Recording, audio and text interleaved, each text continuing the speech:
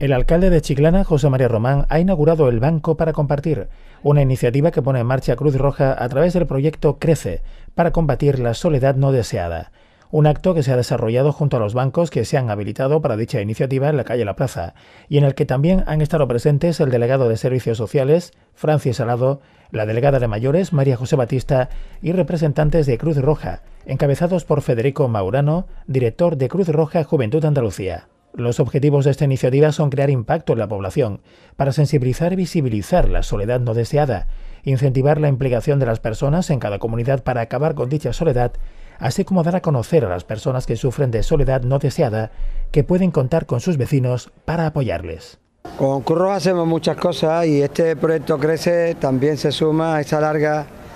eh, lista de acciones que tenemos por globalmente por el bienestar por el bienestar de las personas, desde el área de servicios sociales, desde educación, se viene trabajando hace tiempo también en este proyecto tan importante de la soledad no deseada. La, sociedad va evolucionando, se va transformando. Las familias eran antes muy numerosas o se vivían en patios y en congregación y era difícil que alguien se encontrara solo. Hoy la sociedad ha cambiado, hay muchas familias monoparentales hay también gente que viviendo acompañada también se siente sola. Entonces, para algo tan importante que es la estabilidad emocional, para la satisfacción personal, para que la gente pueda vivir, y eso no va vinculado únicamente a una edad de años, también va asociado a gente que puede ser joven, que se sienten no acompañados, que no tienen con quién hablar, que no tienen con quién salir. Este programa de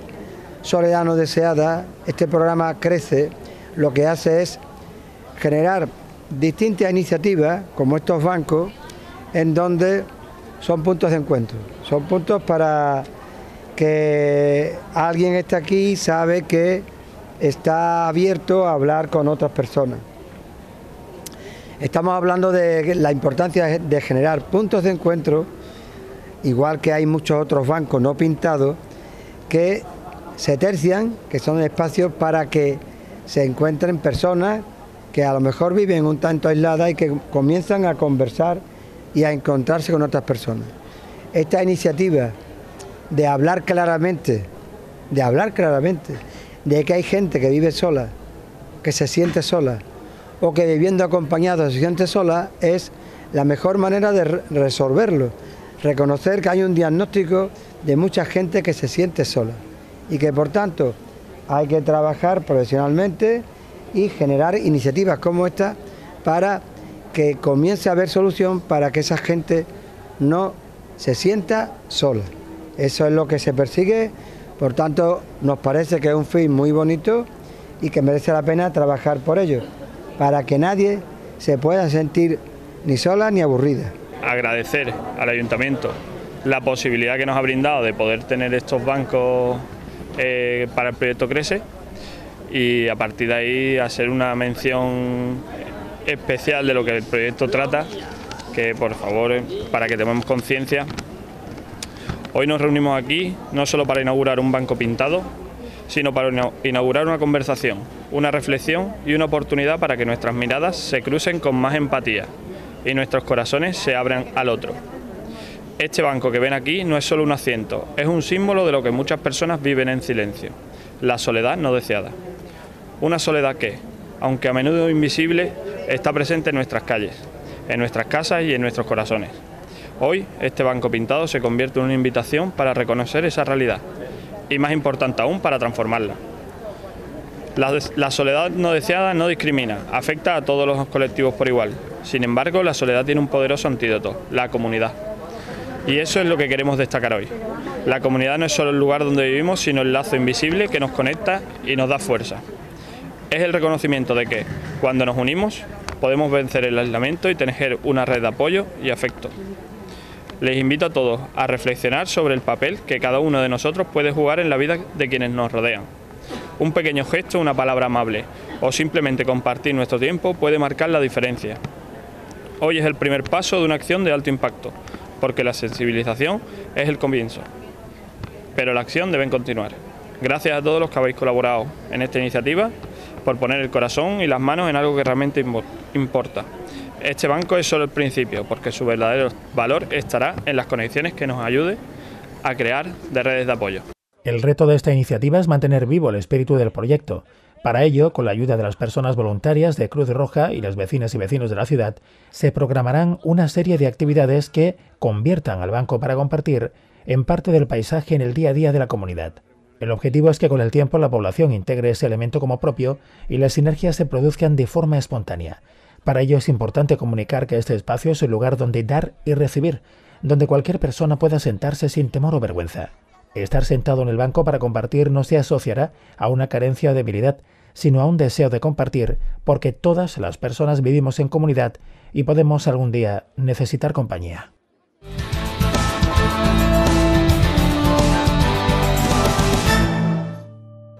La ministra de Inclusión, Seguridad Social y Migraciones, Elma Saiz, ha anunciado este jueves que en los próximos días procederá a abrir una mesa de negociación con los agentes sociales para la reforma de la incapacidad temporal, con la que quiere flexibilizar desde la voluntariedad la reincorporación laboral de personas con una baja médica y con la mirada puesta también en la discapacidad como puede ser en patologías donde bueno, pues haya personas que puedan estar eh, incorporándose al trabajo siempre con la garantía de su salud, pero como saben hay una regulación actual que eso se está eh, de baja o se está de alta, bueno, pues trabajar en, ese, en esa modificación o en casos de pluriactividad donde igual hay trabajadores que están eh, en condiciones de desarrollar un trabajo pero hacen otra actividad y el otro trabajo pues en ese caso sí que les afecta la incapacidad temporal. Tras este anuncio los sindicatos, comisiones obreras y UGT han expresado sus dudas al respecto. Así, el secretario de Protección Social y Políticas Públicas de Comisiones Obreras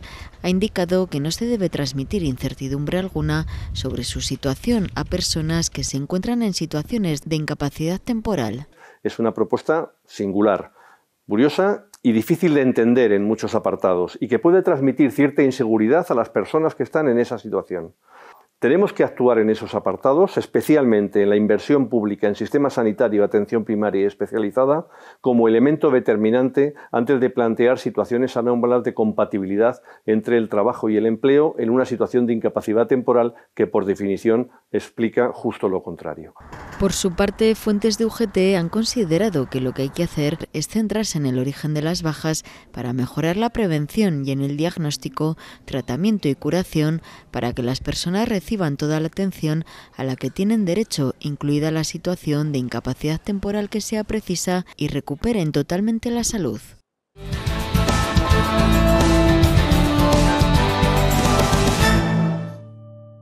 El Departamento de Agua de la empresa municipal Chiclana Natural ha finalizado dos actuaciones para la ampliación y mejora de la red de pluviales de la ciudad en las calles México y Francisco de Tárrega donde se han instalado nuevos colectores con el objetivo de optimizar la recogida de las aguas de lluvia. Así lo ha comunicado este viernes en rueda de prensa el vicepresidente de Chiclana Natural, Roberto Palmero, que además ha anunciado que los próximos días comenzará una nueva actuación de similares características en el polígono industrial de Pelagatos, más concretamente en la avenida Bahía de Algeciras. Aquí el año pasado, cuando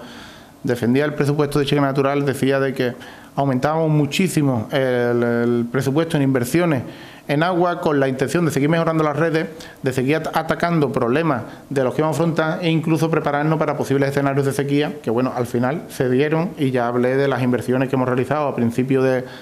durante todo el invierno de cara a afrontar los problemas que teníamos de sequía, los más de 400.000 euros que nos gastamos en obras de emergencia de cara a poder sectorizar la ciudad y, acometer los retos que teníamos por delante. Trabajos que continúan y que van a continuar también más a partir de ahora con las inversiones que vamos a realizar con el PERTE eh, los más de 4 millones de euros que vamos a gastar en seguir mejorando las redes, pero paralelamente también seguimos trabajando en muchos de los problemas que tenía la ciudad muchas veces desde hace muchos años eh, que son asintomáticos del crecimiento que tenemos y que van quedando ahí y que hemos tenido que marcar una serie de prioridades y de inversiones que afrontar. Entre otras, hablaba hace poco de la limpieza de los arcor, que, es algo que nos preocupa en esta fecha, pero también hemos realizado unas obras que eran más que justas y más que necesarias, eh, como por ejemplo en la calle México y en la calle Francisco de Tárrega, que algunos vecinos la habrán podido comprobar o sufrir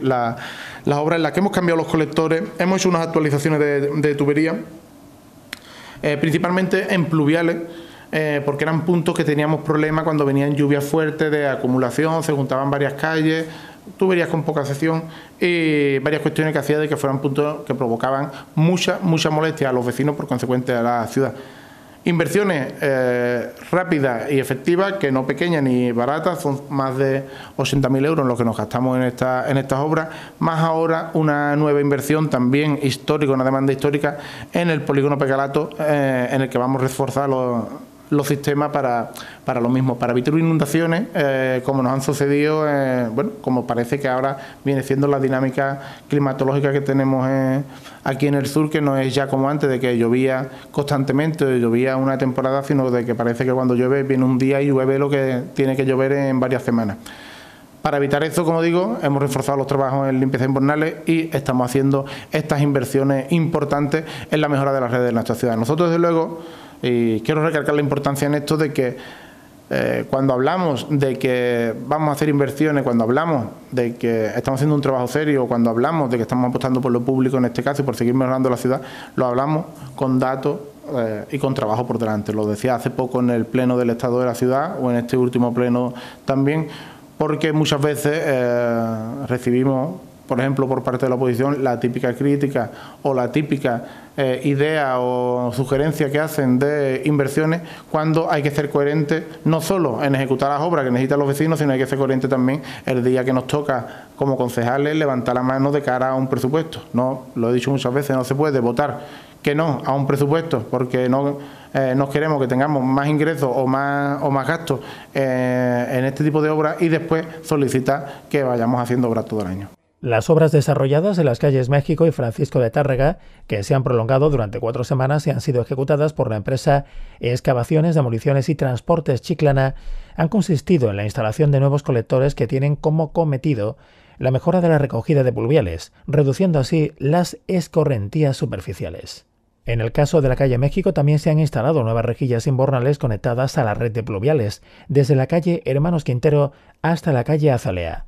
Por su parte, la actuación en la calle Francisco de Tárrega también ha supuesto la optimización de la red en la calle Sonata y en la avenida de la Música, con la instalación de nuevas rejillas invernales. En lo que respecta a la actuación en Pelagatos, tiene como objetivo el refuerzo de la red de pluviales existente en la avenida Bahía de Algeciras con un nuevo colector, de manera que se evite la inundación de esta zona durante episodios de lluvias intensas. Por ello, además se instalarán invernales adicionales en las áreas más vulnerables para captar y canalizar el agua de lluvia de manera eficiente. Asimismo, se asegurará una conexión adecuada a la red de pluviales existente. Los trabajos, con un importe superior a los 39.000 euros, serán encargados a la empresa Construcciones Germat y se prolongarán durante 30 días.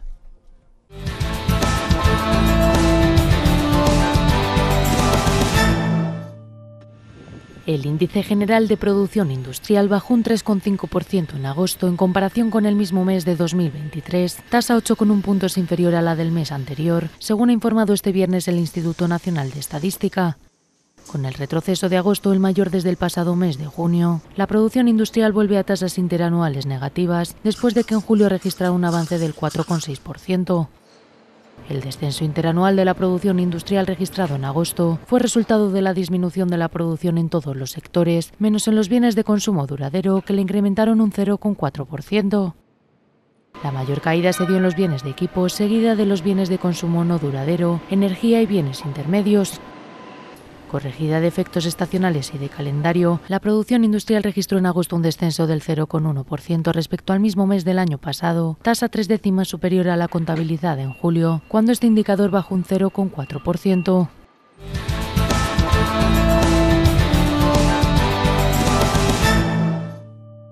El alcalde José María Román ha visitado el conjunto de 32 viviendas del residencial La Hijuela, ubicado en el Camino de Carboneros. Una visita en la que ha estado acompañado por los delegados de Urbanismo y Fomento Económico, Rodolfo Pérez y Manuela Pérez, respectivamente, así como de Juan Manuel de Jesús, representante de Gescoland, entidad responsable del proyecto. 32 viviendas que tiene sus secciones para un parque público, su viario, como es lógico, y está a falta de prácticamente menos de dos meses para concluir y que los compradores puedan venir aquí a, a estas 32, 32 nuevas viviendas con una inversión de prácticamente casi 8 millones de euros. ¿no? El arquitecto, director y autor del proyecto es Barea, Antonio Barea. Y bueno, nosotros estamos muy contentos porque es que además este proyecto ha, llevado consigo que se haya traído también los sistemas de distribución de fecales y de agua potable aquí al Camino del Carbonero y otras calles que hay adyacentes, de tal manera que al mismo tiempo eh, el territorio, la zona, se va a beneficiar para las viviendas que, no tienen estos servicios se puedan conectar porque los tuberías pasan, pasan por sus casas. ¿no? De tal manera que, que, en fin, esta inversión es muy buena, muy productiva y además lleva aparejado eso. Así que muchas gracias Juan Manuel porque creo que es de las inversiones que hacen ciudad, aquí cerca, al lado de la rotonda de Chirino, en un sitio muy bueno, magnífico, y mirando a un kilómetro al Parque de la Bahía, al Coto de la Isleta, al Estero de Carbonero, un sitio ambiental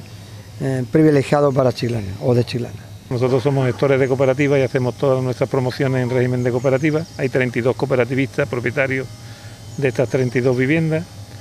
que aparte del desarrollo de la urbanización interna, como podéis ver, esta calle de acceso con los aparcamientos y su zona de zonas comunes con piscina y demás, las viviendas tienen cada una su parcela independiente que varían de 150 a unos 300 metros dependiendo de cada una de la, ubicación donde esté. Y también esto ha permitido que hagamos una serie de obras que son secciones al ayuntamiento, como bien dice José María, el 10% de aprovechamiento, una parcela que, que está en la esquina para cuatro viviendas, cede al ayuntamiento. Hemos hecho un vial que va a ser un vial público y hemos hecho una zona verde para el disfrute de todos los chiclaneros y todo el que esté por el entorno porque son zonas verdes que se le ceden al ayuntamiento. ¿no? Las viviendas de por sí pues, se le ha intentado dar mayor rango de calidad, están todos con materiales de porcelanosa, grés porcelánico, todas las piezas entendemos que va a terminar siendo una urbanización con una calidad bastante aceptable que creo que también es lo que dignifica un poco y le da valor al entorno donde está. ¿no? El residencial La Hijuela, cuyo proyecto ha sido realizado por el arquitecto Antonio Barea, consta de 32 viviendas de dos plantas que ya están vendidas y que cuentan con tres dormitorios cada una, parcela independiente y zonas comunes. El proyecto se realizó en régimen de cooperativa. De esta forma, una vez constituida dicha cooperativa, se procedió a la construcción de las viviendas, que ha contado con una inversión de casi 8 millones de euros. En cuanto a plazos, la obra está prevista que concluya a finales del presente año.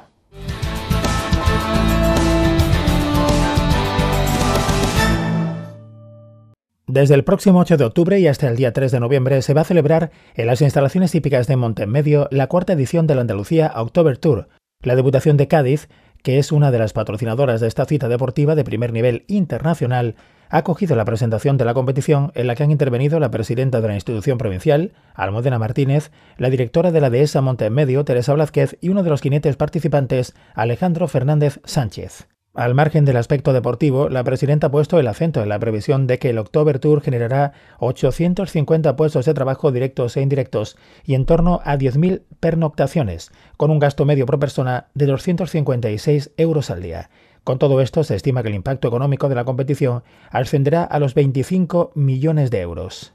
Estos aspectos son fundamentales para la presidenta. A ellos les debemos que la provincia de Cádiz pues acoja estos grandes eventos pues, deportivos para el turismo y, bueno, como ha dicho Alejandro, ¿no? que si no tendrían que estar en Centro Europa. O sea que fijaros todo lo que les debemos. Eh, os queremos dar las gracias por, patrocinar así, de esta forma, a, la provincia de Cádiz y ser escaparate de nuestras grandes también mm, instalaciones naturales. Y bueno, decir que nos esperamos, que esperamos una participación muy importante con los mejores jinetes nacionales e internacionales y reunirá durante un mes a más de 800 jinetes y amazonas y 2.000 caballos y yeguas de 41 países. Se van a disputar, como ha dicho Teresa, tres concursos internacionales y 10 campeonatos de España en las disciplinas de salto y de doma y, por supuesto, pues va a tener una gran repercusión económica en las andas y en toda la provincia. Todo esto va a suponer un impacto económico estimado en 25 millones de euros, o sea que fíjense, y, 850 puestos de trabajo directos, indirectos y 10.000 pernoctaciones. O sea que si patrocinamos este evento, este gran evento desde la Diputación, es porque no puede ser de otra manera por el gran impacto económico que va a suponer y, como he dicho antes, por ser un escaparate de excepción y de calidad de toda la provincia.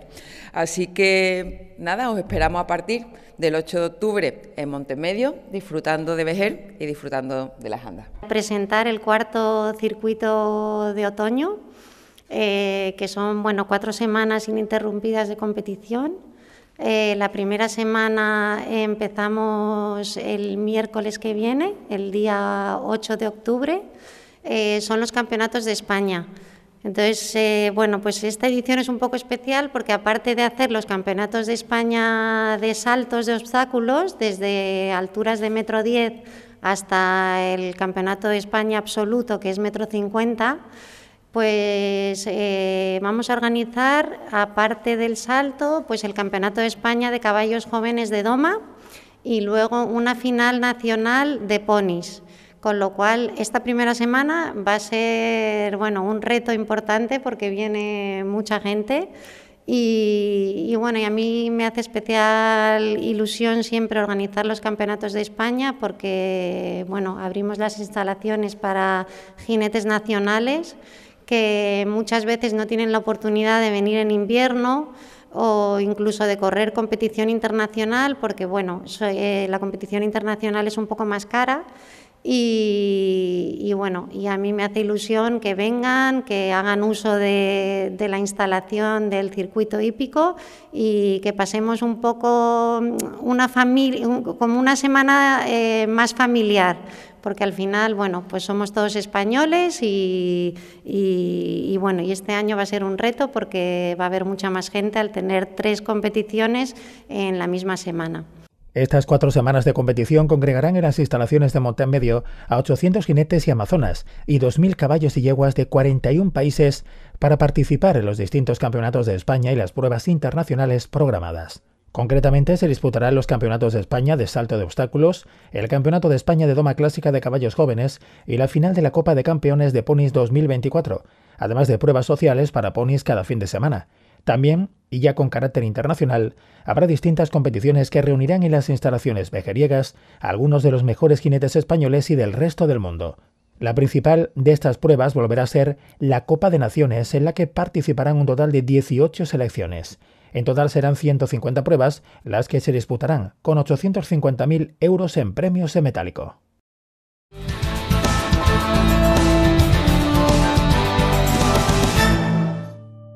El Centro de Interpretación del Vino y la Sal ha acogido la presentación del libro Chiclana de la Frontera, desde los inicios de la Guerra de la Independencia hasta la ocupación, de José Luis Aragón Panés, primer premio de monografías Ateneo de Chiclana. Una presentación que ha estado presidida por la teniente de alcalde Ana González y que ha contado con una notable asistencia de público. Presentar este libro, que bueno, es uno de mis niños más bonitos, ¿verdad? Que el, libro no solamente es lo que hay por dentro, sino también un objeto, ¿eh? un objeto de, arte por, por, fuera. Y me siento muy, muy contento. Ya voy a dar las gracias también a quien me lo, quien me lo, quien lo ha maquetado y lo ha preparado. Voy a leerlo para no enrollarme mucho porque si no me enrollo. Entonces, digo, si bien expresé eh, agradecimiento en aquella ocasión al jurado, pues hoy hay dos miembros del jurado, José Lagostena y José Francisco González, aquí presente, vuelvo a reiterarlo, también, por supuesto, al Ateneo como, como responsable del premio, al Ayuntamiento por, por, todo, por su colaboración, Fundación Gómez Moreno, eh, perdón, Gómez, sí, Gómez y Moreno, eh, Hierro Montalbán, ABA España y por supuesto a esta casa, a Juan Carlos y a Julián que también ha estado conmigo esta mañana y todo siempre me, atiende y a todo el personal que cada vez que vengo pues me abre las puertas gentilmente. A Diego también, Diego Vidal es el archivero, fundamental para este tipo de, de libros porque, como bien ha dicho José, pues las actas capitulares están en el archivo municipal y hay que saber eh, primero pedirla, encontrarla y, bueno, siempre una orientación es bueno de, un profesional, en este caso como, como Diego. Dice, cualquier libro es un instrumento para entender la cultura, la cultura de forma global, esa cultura con mayúsculas que contiene toda nuestra esperanza o toda nuestra existencia del ser humano, la cultura entendida como un complejo muy amplio que va englobando los saberes, las creencias, el arte, las costumbres, el derecho, la política, así como cualquier otra disposición adquirido por el hombre a lo largo de su existencia. Entonces, partiendo de esta premisa, de esta definición antropológica, pues yo, desde la simple condición de cronista, desde la equidistancia, como ha dicho también José, ¿no? Eh, no entrando en, análisis ni valorando, sino como cronista de, de la ciudad, he pretendido presentar o hacer este instrumento de conocimiento de una época, de ese periodo histórico tan importante que tiene que ver también, quiera que no, de alguna manera con nuestro presente. De cómo surge la idea tiene mucho que ver dos cuestiones. La primera, por el conocimiento académico y el uno le pone al trabajo que va a estudiar o va a investigar. Y la segunda, que siendo un periodo tan importante para la historia de Chiclana, no podía quedar en los legajos ahí del archivo escondido, había que sacarlo. Las actas están en muy malas condiciones porque el archivo durante muchísimos años, imaginaron, ¿no? la primera acta que tenemos es de 1517 es una copia, hay otras que han desaparecido, entonces pues había que sacarlo y rescatarlo y ponerlo para que no solamente el público lector, como vosotros en general, chiclaneros interesados por la historia de Chiclana, sino también para investigadores. Y desde aquí pues, me dirijo también a algunos Em, graduados que han estado hace, muy poco en la universidad y he contactado con ellos y, vieron mi primer libro y este segundo lo vieron en manuscrito y le interesaron. Por lo tanto, creo que vamos por el buen camino para que también eh, la universidad tome nota del libro. Esta iniciativa forma parte de las actividades previstas para el mes de octubre por el Ateneo de Chiclana.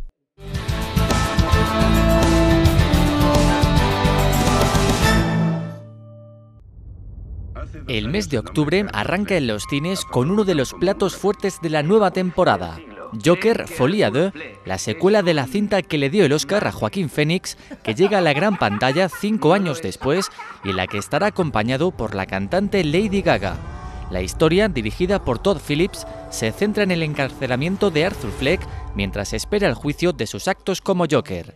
La conmovedora historia de Alas Blancas, dirigida por Mark Forster, ofrece una conmovedora historia de amor entre dos jóvenes basada en el libro homónimo de Raquel Jaramillo Palacio. La película, que se convierte en una exaltación de la bondad humana, transcurre en medio de la parte más oscura de la historia de Alemania. Otra opción es Los Destellos, protagonizada por Antonio de la Torre y Patricia López Arnaiz, una cinta de Pilar Palomero en la que la vida de su protagonista, Isabel, da un inesperado giro el día en que su hija Madalen le pide que visite regularmente a su exmarido, un hombre al que ve como a un desconocido. Así comienzan a reavivarse resentimientos que creía superados. Y en la película Crossing de Levan Akin, una profesora jubilada ha prometido encontrar a su sobrina Tecla, perdida hace mucho tiempo. Su búsqueda la lleva a Estambul, donde conoce a Ebrim, un abogado que lucha por los derechos de las transexuales, y Tecla empieza a sentirse más cerca que nunca.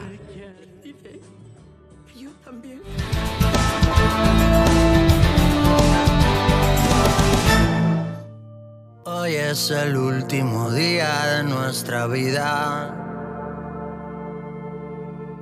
Dani Martín ha vuelto a sorprender a todos sus seguidores con un nuevo tema cargado de ritmo.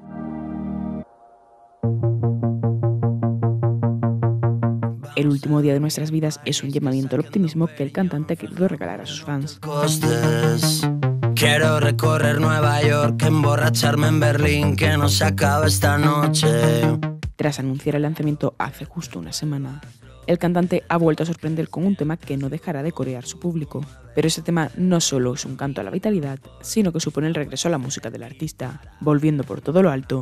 Dani Martín tiene la vista puesta en sus próximos conciertos en el Wizzing Center que celebrará dentro de un año y que ya cuentan con el cartel de no hay entradas. El artista ha afirmado así que el presente es un regalo, aunque a veces demos por hecho que suceda. Con un mensaje conmovedor característico de sus canciones, el intérprete tiene claro que regresa a la música para seguir haciendo lo que mejor se le da, remover los corazones de sus seguidores.